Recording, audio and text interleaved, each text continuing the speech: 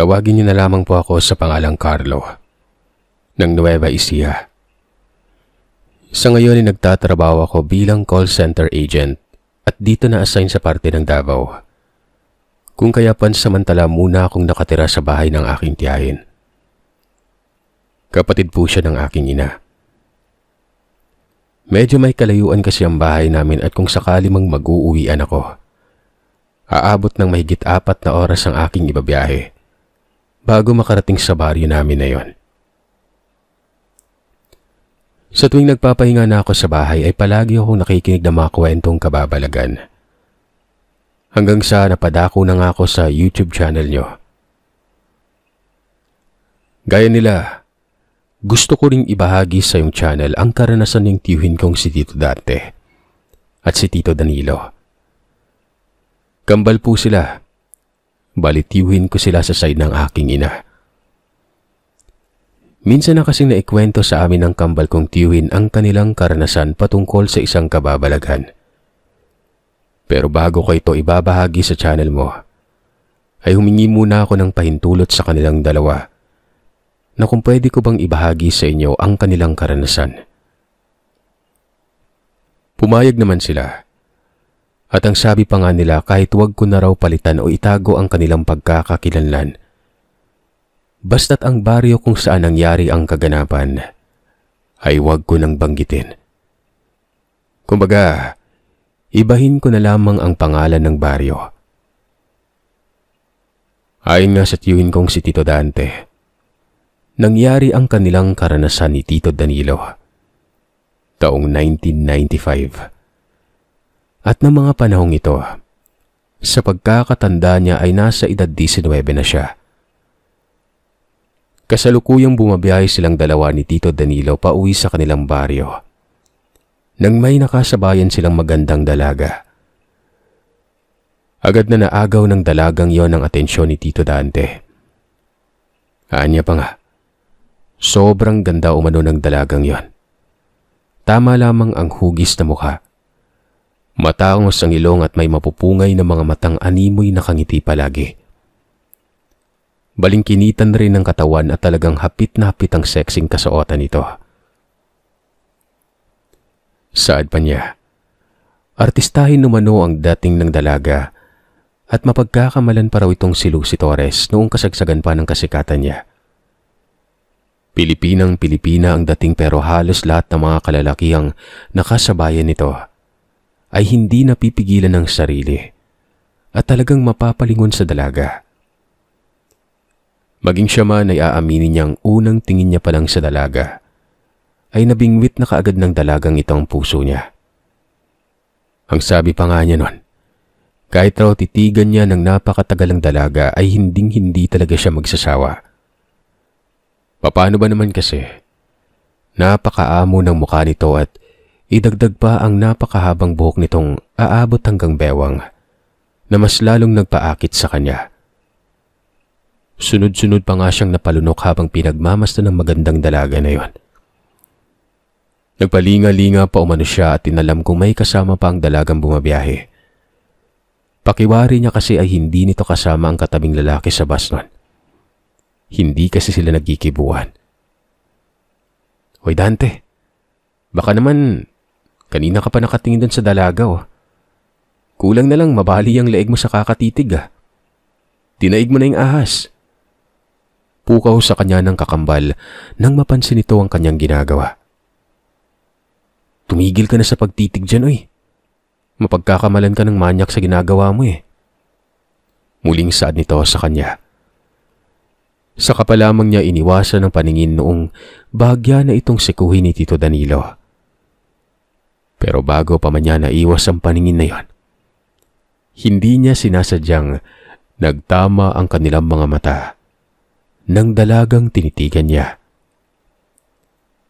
Sa pagkakataong yon, pakiramdam ni Tio Dante ay para siyang nakalutang sa arapaap at parang may sariling buhay rin ang kanyang katawan. Dahil sa kusa siyang dahan-dahang tumayo at akmang maglalakad na sana papalapit sa dalaga. Lalo na nung makita niyang umiti ang mga mata nito. Para siyang nahihipnotismo Mabuti na lamang at tinapik siya ng kanyang kapatid. Kung kaya't bumalik siya sa kanyang sarili at agarang napaupo nun. Ay nako naman, ano ba yung ginagawa mo Dante? Baka mamaya bigla ka nalang matumba dyan. Kita mong umaandar yung bus eh. Teka, saan ka ba pupunta at dahan-dahan kang tumayo? Iiling-iling na tanong ni Tito Danilo. Ha, ah, ano? Ah, wala. Maiksing tugon niya. At umayos na sa pagkakaupo at muling sinipat ang dalagang yon. Makalipas ang mahabang biyahe, nakaramdam ng lungkot si Tito Dante. Nang malaman niyang malapit na silang bumaba, sa isiping hindi niya na makikitang muli ang magandang dalaga. Ni hindi niya man lang ito nalapitan at natanong ang pangalan. Bakit ba parang napakabilis ng oras? Sayang naman. Magkikita pa kaya kami? Tanong niya noon. Nung makababa na nga silang magkapatid ay hindi na talaga napigilan ni Tito Dante ang malungkot at madismaya. Lalo na noong makita niyang umaandar ng muli ang sinasakyang bus papalayo na yon. Pakiwari niya ay tuluyan ng tinangay ng dalaga ang puso niya. Naapakadrama ng tiyuhin ko noon. Kung makapagsenti, dinaig pa yung mga Gen. Kung hindi pa siya tinapik ng kakambal niya ay hindi niya pa namamalayang kanina pa pala siya nakatayo sa gilid ng kalsada habang nakatanaw kung saan patungo ang bus na sinasakyan nila noon. Sino bang tinitingnan mo dyan at kanina ka pa nakatayo? Tanong ni Tito Danilo at binuhat ng bitbit na mga dalahin. Ah, uh, wala. Puro ka wala, wala. Kanina ka pa wala nang wala pero sa mga kinikilos mo parang may kakaiba eh. Wala nga. Huwag mo na lang akong pansinin. Tara na't maglakad na tayo. Tumango naman si Tito Danilo at agad nang sinukbit sa balikat ang bag nun. Tapos ay sabay na silang naglakad pa uwi ng bahay. Nga pala, galing sa ibang lugar ang kambal kong tiyuhin. Dahil doon sila nagtatrabaho. Umuwi lamang sila sa baryo dahil malapit na ang piyesta noon. At alam niyo naman Sir Seth kapag mga piyesta, di ba? Talagang present ang mga kadalagahan at kabinataan sa baryo-baryo. Kahit nang iba ay nasa Maynila, nagtatrabaho o kung saan mang lugar. Umuwi ang mga ito para sa gaganaping kapiyastahan. Ilang sandali pa ay naglakad na sila papasok sa baryo kung saan sila naninirahan. Mahigit 15 minutos pa ang kanilang lalakarin bago marating ang bahay. Danilo, napansin mo ba yung dalaga kanina doon sa may sasakyan? Hindi na napigilang tanong ni Tito Dante sa kakambal niya. Sinong dalaga yung sinasabi mo? Marami kasi tayong mga kadalagahang nakasabayan kanina eh. Kunot noong tanong ni Tito Danilo. Eh, hindi mo talaga alam kung sino yung tinutukoy ko? Napapailing namang natawa si Tito Danilo at sinabi niyang nakita niya ang dalagang sinasabi ni Tito Dante pero wala namang pinagkaiba yon sa mga dalagang nakasabayan nila. Anong walang pinagkaiba? Pambihira naman oh. Bulag ka ba? Hindi pa nakikitang nangingibabaw yung ganda ng dalagang yon. Kesa dun sa ibang mga dalagang nakasabayan natin. Talaga naman oh. Nakaramdam mo na siya ng pagkairita. Dahil sa kahit kailan ay napakamanhid talaga ng kakambal niya pagdating sa mga kadalagahan.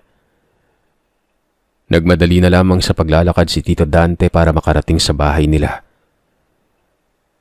Nang makarating na sila sa bahay, ay laking tuwa ng mga magulang nila noon. Lalong-lalo na ang kanilang ina. Nang mapagbuksan ni sila nito ng pintuan. Nagmano muna sila bago inabot ang mga pinamiling pasalubong. Ang akala ko bukas pa kayo darating. Hindi pa naman ako nakapagluto ng pagkain. Sandali lang at ipagluluto ko lang kay mga anak ha. Magpahinga na muna kayo. Alam kong pagod kayo sa biyahe kaya pumanik na muna kayo sa silid nyo. At tatawagin ko na lamang kayo kapag nakaluto na ako. Masyang wika ng kanilang ina. Huwag na po kayo mag-abala pang magluto na eh. Busog pa naman po kami ni Dante. Magpapahinga na lang muna kami. Ay ano ba kayo? Hindi pwedeng hindi ko kayo ipaganda ng pagkain.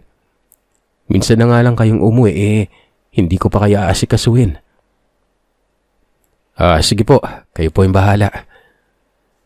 Tanging tugon lamang nilang magkapatid dahil nagpupumilit talaga ang kanilang inang asikasuin sila noon. Matapos mailapag ang ibang mga bitbit, pumanik na nga silang dalawa sa kwarto at nagpahinga na. Pero dumaan na lamang ang ilang minuto. Kahit anong gawing pagpikit ng mga mata ni Tito Dante, ay hindi siya dinadalaw ng antok. Palagi pa rin pumapasok sa kanyang isipan ang itsura ng magandang dalagang misteryosa. Pakiramdam niya tuloy, parang nagayuma siya. Dahil kahit nakapikit na siya ay paulit-ulit pa rin pumapasok sa isipan ang malabirhing Mariyang itsura ng dalaga nun. Samantala, nang tingnan niya naman ang kakambal niyang si Tito Danilo, ay bagsak na bagsak na ito sa higaan at malamang sa malamang na mga sandaling yon ay mahimbing na itong natutulog. Napabuntong hininga na lamang siya at naitanong niya sa kanyang isipan kung kailan niya kaya ulit makikita ang dalagang unang nagpatibok ng kanyang puso. Hanggang sa lumipas pang ilang sandali, nakarinig na siya ng sunod-sunod na pagkatok sa pintuan. Nang pagbuksan niya ang taong kumakatok ay nabungaran niya ang kanyang ina. Nakangiti itong humingi ng paumanhin dahil medyo natagalan ang pagluluto nun. Ano anak? Gusto niyo na bang kumain? Nakaluto na ako. Magsabi lang kayo kung gusto niyang kumain para ipaghain ko na kayo ng pagkain. Kakamot-kamot sa ulong sinabi ni Tito Dante na mamaya na lamang sila kakain nun. Dahil mahimbing nang natutulog si Tito Danilo. Pagkagising na lamang nito sa kasila kakain. Tumango ang ina nila at nagpaalam na ito. Muli namang isinara ng tiyuhin ko ang pintuan ng silid. Kinabukasan, pagkagising na pagkagising pa lamang ni Tito Dante, ay naulinagan niyang napakaingay sa labas ng bahay. Kinukusot-kusot niya pa ang mga matang nagtanong sa kakambal kung anong nangyari. Bakit ang ingay umano sa labas ng bahay nun? Mga chismos ang kapitbahay natin yan, tol. Nawawala raw kasi ang apo ni Aling Trinidad. Tapos yung hinala nila, tinangay daw ng aswang. Tugon ni Tito Danilo sa kanya. Aswang? Kalokohan. Paano naman nila nasabing aswang ang tumangay doon sa apo ni Aling Trinidad? Bakit nakita ba nila? Natatawang wika niya pa at hindi naniniwala sa sinasabi ng kapatid noon. Nagibit balikat lang naman si Tito Danilo sabay nagwika ng Malay ko, bakit hindi ka lumapit doon sa umpukan at alamin kung totoo nga ba yung sinasabi nila o hindi? Wag na. Alam mo namang hindi ako interesado pagdating sa usap-usapang ganyan eh. Simulat sa pool kasi, ay hindi umano talaga naniniwala si Tito Dante sa mga aswang-aswang. Panakot lamang raw kasi yun ng mga matatanda sa mga kabataang matitigas ang ulo. Tandang-tanda niya pang ang ipinangtakot rin sa kanila noon ng abuela ko ang tungkol sa aswang na may taga sa braso.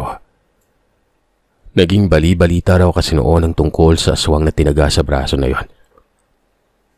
Hindi yun napatay ng taong tumaga kaya ang sabi ng karamihan, patuloy pa rin yung nambibiktima ng mga taong may sakit, buntis at mga sanggol sa mga karatig lugar.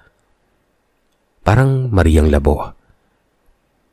Dahil sa wala namang napatunayan ng taong totoo ang aswang na sinasabing may taga sa braso, kaya't hindi naniniwala si Tito Dante noon. Alam mo tol, parang hindi ka naman nasanay sa mga kapitbahay natin. Ano namang sa tuwing may milagrong nagaganap o kababalagan, aswang kagad yung pinagbibintangan. Wika niya pa at napapailing na lamang bago uminom ng kape noon. Sa bagay tama ka nga naman. Sa kakasasabi nilang may aswang pati mga matatandang dayo o kaya naman mga matatandang umabot sa edad 60 at malalakas pat mahaba ang buhok. Pinagkakamalan na nilang aswang. Dagdag pang wika ni Tito Danilo. Dahil tuloy sa kuro-kurong yon, kaya halos mga matatanda sa kanilang lugar. Kapag umabot na sa edad 50 ay nagpapaiksi na ng buhok dahil natatakot ang mga itong mapagkamalang aswang. Hindi na rin nagpapahaba ng kuko dahil maging ang kukuman ng mga matatanda. Huhusgahan. O nga naman ano, ano ba naman kasi itong lugar natin? Lahat na lang nangyayaring kababalaghan. Aswang kaagad yung pinagbibintangan. Hey, kawawang aswang. Sumabat naman ang isa pa nilang kapatid na kakapasok pa lamang at nagwikang, kung siya man umano ang aswang, tiyak ay uunahin niya mga chismosang kapitbahay. Tatanggalan niya ng dila ang mga yon at tibilad sa araw para matigil ng usap-usapan tungkol sa kanya. Simulat sa pulpa kasi magpasa hanggang lumaki na sila ay patuloy pa rin naniniwala at pinagchichismisan ng mga kapitbahay nila ang tungkol sa mga ganong nilalang. Kaya ako, hindi ako naniniwala sa mga sinasabi nilang ganyan eh. Saad pa nito. Natigil lamang sila sa pag-uusap ng pumasok ng kanilang ina. Alam kasi nilang mayayari na naman sila kapag nalaman nitong Pinag-uusapan na naman nila ang tungkol sa hindi nila pinaniniwala ang usap-usapang aswang. Makalipas ang ilang araw, pumunta sa bahay nila ang kababata ni Tito Danilo na si Alberto. Inaya nito ang kanyang kakambal na pumunta sa isang baryong medyo malapit lamang din sa kanila. May dinidiskartihan raw itong dalaga doon. Isama natin si Dante para tatlo tayong pumunta. Wika pa ni Alberto sa kanyang kakambal sabay kindat nun. Loko to. Ano naman yung gagawin namin doon? Magmumukhang chaperon lang kami ni Dante sa pupuntahan. Tanong naman ni Tito Danilo sa kababata nun. Nga naman, gagawin mo lang kaming chaperon eh. Kaya gusto mo kaming kasama. Mga sira, dumating yung pinsang dalaga at kapatid ni Marina. Kaya ako kayo isasama doon. Dahil kung gusto kong magkaroon na kayo ng kasintahan. Tumatanda na kayo. Tingin niya sa sarili niyo mga batang uhugin pa. Mga gurang na kayo eh. Dapat maghanap na kayo ng nobya. Hindi yung puro na lang kayo trabaho. Sos, gusto mo lang may kasama eh, kaya ka nag-aaya. Seryoso nga ako mga tol. Ano, sama kayo? Ipapakilala kita doon sa pinsan ni Marina. Pagpupumilit pa nitong sabi. Oo na, sasamahan ka na namin. Teka lang sandali. Kailan ba tayo lalakad para makapaghanda kami ni Danilo? Halos mapatalo naman sa tuwa si Alberto matapos niyang marinig ang sinabi ni Tito Dante. Kagad na sinabi nitong bukas na ng hapon ang punta nila. Hintayin raw nila si Alberto sa labasan ng baryo dahil doon na lamang sila magkita-kita para mas mapabilis na ang pag-alis nila papunta sa karatig baryo na yon. Siguraduhin niyo lang nasisipot kayo ha. Baka mamaya hindi niyo ako sisiputin sa bungad ng baryo. Yari talaga kayo sa akin. Sige, huwag ka magalala. Maaasahan mong sisipot kami ni Danilo. Inabukasan nga, pasado alas 5 mahigit pa lang ng hapon, ay nagpaalam si Tito Dante sa kanilang inang may pupuntan lang sila sa Karatig Baryo. Tinanong naman siya kung saang baryo ba ang kanilang pupuntahan ni Tito Danilo. Diyan lang po na eh. Saglit lang po kami. Babalik rin kami kaagad. Sabat naman ng kanyang kapatid at hindi nito binanggit ang baryong pupuntahan. Saang dyan lang? Pangungulit na tanong ng kanilang ina. Basta po, dyan nga lang. Giit ng kapatid niya. Ayos-ayusin niyo lang ha. Baka mamaya kung saan-saan kayo mapapadpad yan. Usap-usapan pa naman dito sa lugar nating may mga aswang na nang bibiktima. Naku kayo talaga mga kabataan oh. Bakit pa kayo alis sa piyesta na bukas? Tulungan niyo kaya akong magayat ng mga pangsaw para bukas. Anya pa ng kanilang inanon. Sinabi pa nitong magkakatay ng baboy mamayang madaling araw ang kanilang ama. Kaya dapat din nasa bahay lamang sila para may makatulong ang kanilang ama. Susnay, hindi po totoo yung aswang. Tigilan niyo na po yung pakikipag-chismisan dyan sa labas dahil pati kayo nahawaan na ng mga chismosa eh. Tsaka saglit lang po kami, Nay. Uuwi rin naman kami kaagad. Tugon ni Tito Dante. Sinabi niya sa kanyang inang huwag itong mag-alala dahil bago pa man mag alas 9 ay nasa bahay na sila. Pinandilatan siya ng mga mata ng kanyang ina at sinabihang umayos-ayos siya sa mga sinasagot niya dahil baka nakakalimutan niya umano kung sino ang kausap niya. Para hindi na magtatatalak pa ang kanilang ina, nilambing niya na lamang ito at pakunwari ay humingi siya ng paumanhin at sinabing naniniwala naman siya sa aswang. Sige, sige. Papayagan ko na kayo. Basta mag-iingat kayo palagi sa pupuntahan na. Umuwi rin kayo kaagad. Pagpapaalala ng kanilang ina. O na po, Nay. Alam po namin yon. Hindi na kami bata para palagi niyong pagsabihan ng ganyan. Sige na po, Nay. Alis na po kami. Anong oras na o? Kanina ka pa po tanong ng tanong. Mag-alas sa isa ng hapon. Abay, lumakad na kayo at magdidilim na. Sige na ako't na bahala sa inang nyo. Sapat ng kanilang ama. Tanging pagtango lamang ang naging tugon nito. Bago pa man sila lumabas ng bahay ay pinaalalahanan ulit sila ng kanilang inang mag-ingat sa pupuntahan. Kung may kahina-hinala man silang nararamdaman, ay huwag mag-atubiling umuwi kaagad nun. Napapakamot na lamang sila sa ulo. Napapailing-iling at napawika ng ano ba naman to si nanay? Ano ba tingin niya sa atin? Ginawa niya na naman tayong bata. O nga, kaya hindi tayo nagkakanobya eh. Ginawa tayong bata, daig pa yung bonjing eh. Natawa na lamang sila noon. Dahil kahit kailan talaga ay iniisip pa rin ng kanilang inang bata pa sila. Naalala pa umano ni Tito Danilo kapag may dinedeskarten sila noon ni Tito Dante o may ipinakilalang babae sa kanilang ina. Kulang na lamang ay habulin sila ng pamalo at pilit na papauwi ng babaeng ipinapakilala nila noon. Natatawa na nga lang sila sa tuwing naiisip nila yon. Nang magkita-kita na sila sa bungad ng baryo, ay agaran na silang lumakad papunta sa lugar kung saan nakatira ang babaeng nililigawan ni Alberto. Hindi naman nakakatakot umanong maglakad sa gabing yon dahil sa maliwanag ang buwan sa kalangitan. Kaya hindi madilim ang daanang tatahakin nila. Habang naglalakad ay doon na tinanong ni Tito Dante kung bakit hindi sinasabi ng kapatid niya sa kanila kung saang bari sila pupunta. Nakalimutan mo na ba yung ginawa ni nanay noon? Napalatak naman si Tito Danilo at ipinaalala sa kanya ang tungkol sa kahihiyang nangyari noong mga panahong Nasa edad 17 pa lamang sila. Noong gabing pumunta sila sa karatig sityo dahil may nililigawan siya noon. Sa kamalas-malasan nga ay sinundo sila ng kanilang ina. Binungangaan sa harapan ng dalagang nililigawan ni Tito Danilo.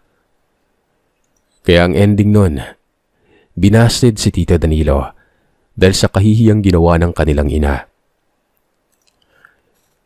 Napatango-tango na lamang si Tito Dante matapos sabihin niya ni Tito Danilo. Dahil hindi niya lubos sa kalaing, magpas hanggang kasalukuyan pala ay may takot pa rin itong nararamdaman sa ginawa ng kanilang inang pamamahiya. Kaya pala kahit anong tanong ng kanilang ina kung saang baryo sila pupunta, hindi talaga sinasabi ni Tito Danilo Kapag naman sasagot na siya at sasabihin niya kung saang baryo, ay tinatapik siya ni Tito Danilo at ito na ang sumasagot sa kanilang inanon. Tara na, bilisan na natin maglakad. Sa pagdaan ng mga sandali, mahaba-haba na ang nilalakaran nila. Pero hindi pa rin sila nakakarating sa patutunguhan. Ang buong akala pa naman ng tiyuhin ko ay malapit lamang ang pupuntahan nila noon. Teka, teka nga paring Alberto. Malayo pa ba tayo? Tanong ni Tito Danilo sa kababata nito. Sumagot naman ang kanyang kababata at sinabi nitong malapit na umano sila. May dadaanan lamang silang gubat at sa unahan nun ay naroroon ng baryo kung saan nakatira ang kanyang nililigawan. Napasambit naman si Tito Dante ng, Ano?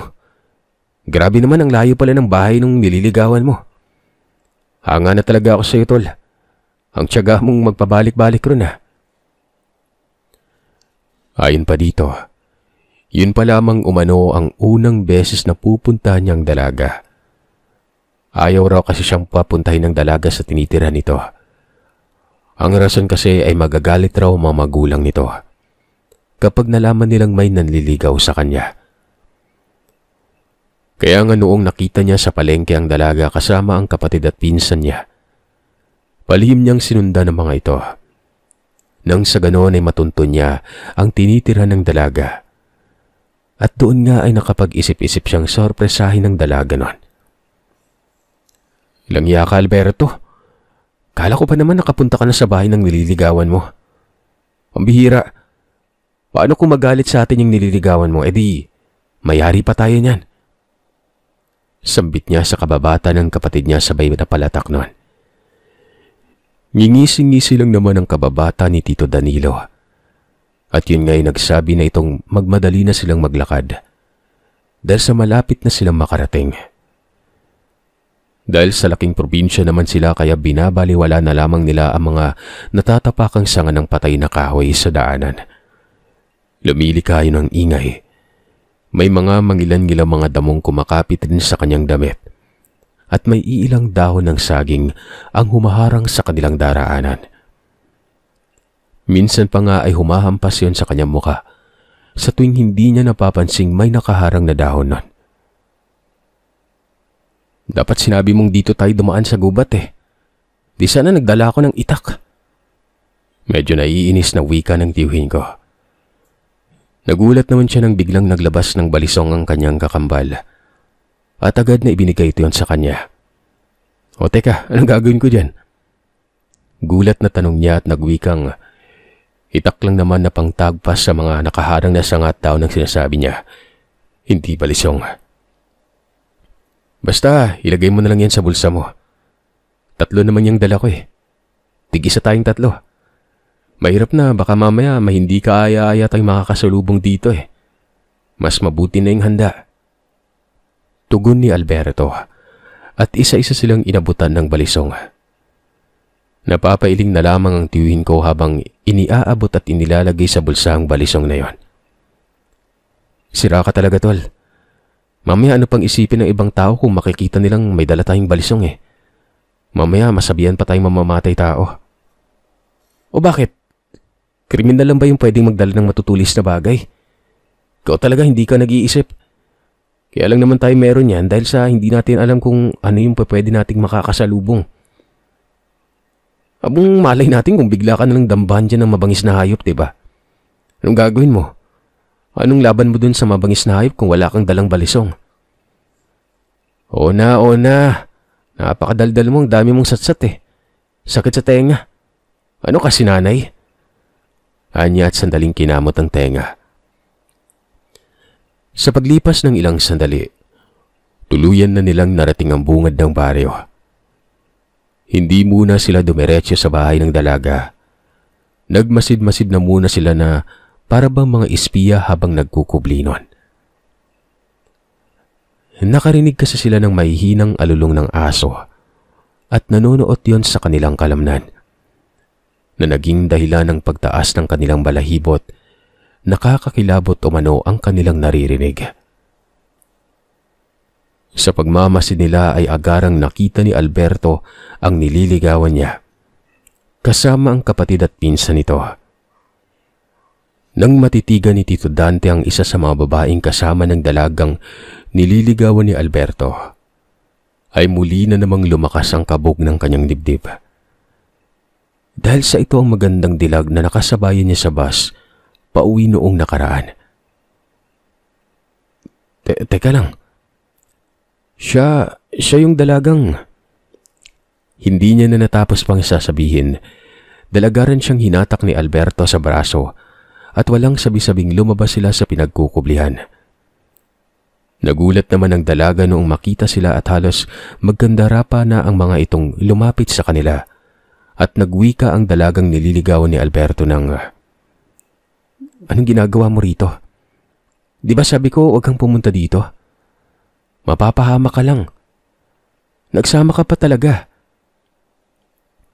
May halong takot at pagkairitang tinig ng dalaga habang ang mga mata nito ay hindi mapirme na para bang may kinatatakutang makita nun. Gusto lang naman kita makita eh. Tsaka gusto ko maging formal yung panliligaw ko sa'yo kaya pumunta ako rito. Hindi mo alam yung ginagawa mo. Mapapahamak lang kayo dito. Kaagad na hinatak ng dalaga si Alberto. Kung kaya't napasunod na lamang ang dalawang tiyuhin ko at ang dalagang kapatid ng nililigawan nito at ang magandang pinsan. Ang sabi pa ng tiyuhin ko, di umano siya makapagsalita ng mga oras na yon.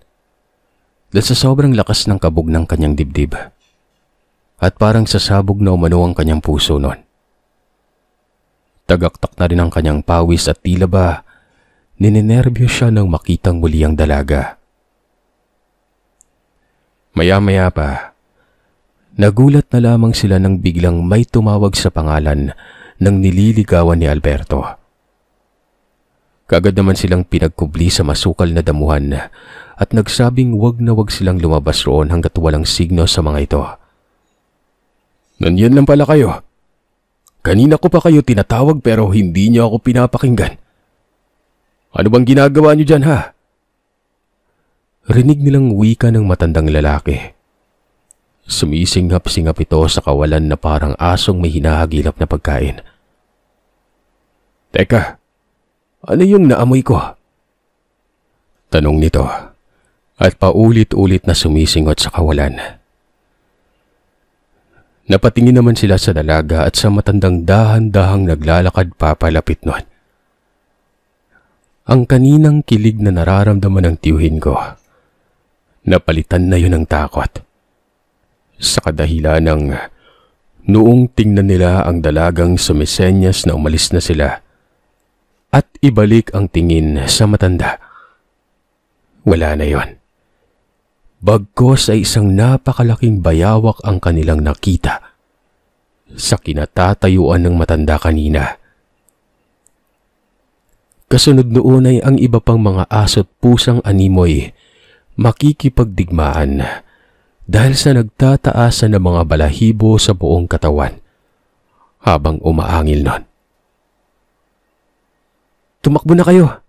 Tumakas na kayo! Rinig nilang sigaw ng mga dalaga habang nakaharang sa mga nilalang.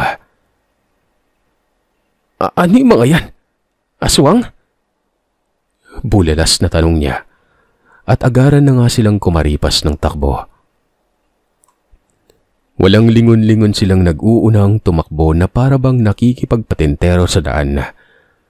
Habang kumakaripas ay rinig na rinig nila ang dumadagundong na angil at mga yabag ng nilalang na naghahabulan pasunod sa kanila. Kulang na lang ay liparin nila ang daanan makalayo lamang sila sa mga humahabol na nilalang na may nakakatakot na itsura.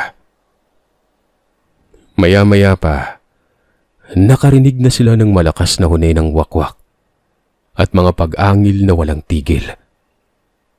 Dimuntres talaga oh. Yari ka sa akin mamaya pag uwi natin, Alberto. Sasapakin talaga kita.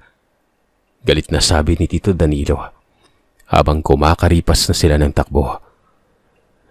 Panay na ang pagwasiwas nila sa punyal na bitbit nila. Nang sa ganoon ay matakot na ang mga nilalang at lulubayan na sila at hindi na susundan pa. Hanggang sa makalipas ang ilang saglit, ay tuluyan na silang nakalayo sa lugar na yon.